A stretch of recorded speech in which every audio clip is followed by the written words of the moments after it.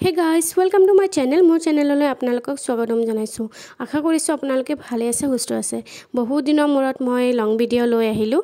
মাজে মাজে মই শ্বৰ্ট দি আছিলোঁ বাৰু দুটা তিনিটামান দিছোঁ কিন্তু বহুত দিন মই ভিডিঅ' আপলোড কৰা নাই। কাৰণ টাইম মেনেজ কৰা মোৰ কাৰণে অকণমান টান হৈ পৰিছে কাৰণ কি পৰীক্ষাবিলাকো আহে আহি আছে কম্পিটিটিভ এক্সামবিলাকো আহি আছে এ ডি আৰ ই আহি আছে স্পেচিয়েল টেট আহি আছে। চ' মানে বহুত মানে টাইম মেনেজ কৰাত দিগদাৰ হৈ আছে। কাৰণ ভিডিঅ'বিলাক মই কৰি কৰি থৈ আহিছোঁ থৈ আছোঁ কিন্তু কি এডিট কৰোঁতে বহুত টাইম যায় যোনে ভিডিঅ' মানে ইউটিউব চলাই গম পায় বহুত টাইম লাগে।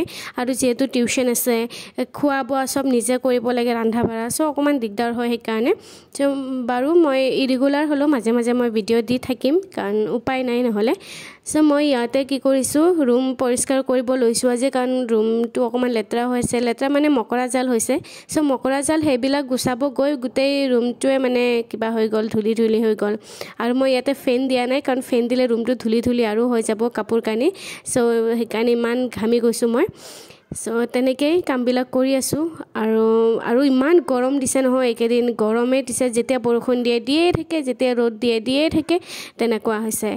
চ' এতিয়া মই এই বিচনাটো এই এটা ফল্ডিং বেড আছে। বেডটো মানে এই বিচনাটোৰ পিছপিনে দিম আৰু।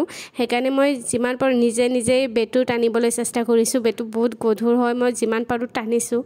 আৰু উপায় নাই নহ'লে কাৰণ ৰুমটো চিজিল নাথাকিলে বেয়া লাগে ন নিজৰে অশান্তি লাগি থাকে। কাৰণ পৰিষ্কাৰ বস্তু চবৰে ভাল লাগে বা পৰিষ্কাৰ হৈ থাকিলে মনটোও ভাল লাগে পঢ়িবও ভাল লাগে বা যিকোনো কাম কৰি ভাল লাগে। সেয়ে মই টিউশ্যন টিউশ্যন শেষ কৰি ভাত অকণমান খাই লৈ পূৰা কামত লাগি গৈছোঁ। আৰু এইপিনে মই ৰুমটো মুচি আছোঁ। টাইলছত এটা প্ৰব্লেম কি জানে? মুচিলে পটককৈ শুকাব নিবিচাৰে আৰু ঘৰটো। ভিডিঅ' কৰি কৰি মোবাইলত একদমেই চাৰ্জ নাই। এতিয়া চাৰ্জত বহাম আৰু মই গা পা ধুই আহিম তেতিয়ালৈকে হৈ যাব। বহুত দিনৰ পৰাই মই ভাবি আছিলোঁ এটা থাপনা লাগে ৰুমৰ ভিতৰত ৰুমত এটা থাপনা দিম বুলি বুলি। তাৰপিছত ৰেয়া ফটো নাই মই সৰস্বতী মাৰ ফটো আছিলে আগৰ ৰুমত তো এইটো ৰুমত আহোঁতে মানে কেনেকৈ কেনেবাকৈ ভাঙি থাকিলে। তাৰপিছত মই এবাৰ ঘৰত যাওঁতে ৰথমেলাৰ পৰা মূৰ্তি সৰস্বতী মাৰ এই ফটো লৈ আহিছোঁ। তাকে সেয়া মই এতিয়া বহুৱাম। আৰু চাওক মই যেনেকৈ বহাইছোঁ চেয়াৰৰ ওপৰত গামোচাখন দি তাৰ ওপৰত দিছোঁ এইটো এইটো এনেকৈ দিব পাৰিনে নাই আপোনালোকে কমেণ্ট কৰি জনাবচোন। কাৰণ মোৰ মানে ফ্ল'ৰত দিব মন নাই। ফ্ল'ৰত দিলে কি হয় মানে অকণমান ওখ ঠাই অকণমান ওখ হ'ব লাগে তেতিয়া দিলে ভাল হয়। একদম ফ্ল'ৰত দিলে এই ঝাৰু চাৰু দিলে ধূলি যাব বা কেতিয়াবা এই কিবা এনেকৈ ভাবিয়ে মই নিদিলোঁ। সেইকাৰণে চেয়াৰ এটা আছিলে মই চেয়াৰত ধুনীয়াকৈ এনেকৈ দিম বুলি ভাবিছোঁ। এনেকৈ দিব পাৰিনে নাই আপোনালোকে জনাবচোন? এনে এনেকৈ দিব নালাগে বা নে ঠিকেই আছে এবাৰ জনাবচোন তেতিয়া মই মানে আকৌ বেলেগ কৰি দিম। মোৰ কামখিনি প্ৰায় হৈয়ে গ'ল জাষ্ট অকণমান চিজিল কৰিব আছে বস্তুবিলাক উল্টা পুল্টা হৈ আছে এইবিলাক জাষ্ট চিজিল কৰিলে হ'ব।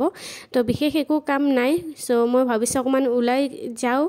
ওলাই যাওঁ মানে ষ্টুডেণ্টৰ ঘৰত যাম। চ' ঠিক আছে মই ৰেডি হওঁ। বাকীখিনি দেখাই আছোঁ বাৰু। চ' চাই থাকক। মই ৰেডি চ' মই এটা কুৰ্তা এটা পিন্ধি ল'লোঁ কুৰ্তা পিন্ধিয়ে যাম। আৰু জানেনে যেতিয়াই মই ৰেডি হ'বলৈ যাওঁ তেতিয়াই কাৰেণ্টটো যে গুচি যায় নহয় বিৰাট খং উঠে। এইটো প্ৰায়ে হয় এইটো। এই নহওক মই ওলাই আহিলোঁ টমটম এটা লৈছোঁ।